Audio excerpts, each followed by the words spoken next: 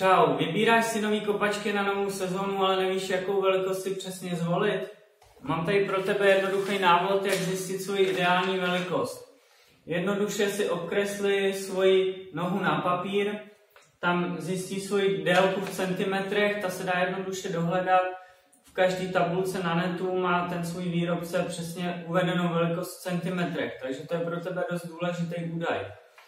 Další důležitý údaj, který potřebuješ vědět, tak je šířka tvé nohy. Já mám třeba hodně úzkou nohu, takže pro mě je ideální spíš tahle bota, která je úzká, takže Mercuriali.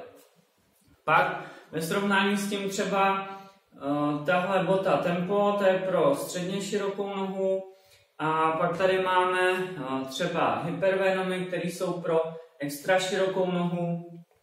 A tyhle ty nový vapory si myslím, že jsou na tom taky docela v pohodě s tou šířkou, takže pro ty, kdo třeba nemohl hrát v těch předchozích vaporech, že mu bylo moc úzký, tak tahle ta nová bota je taky celkem v pohodě.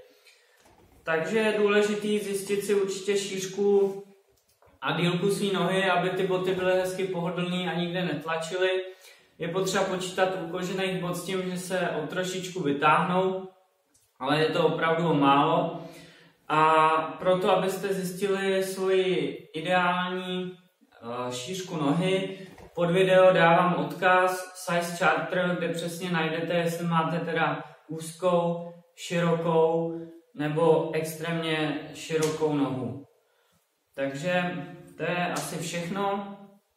A já vám přeju dobrý start do sezóny a vyberte si ty správné kopačky. Čau.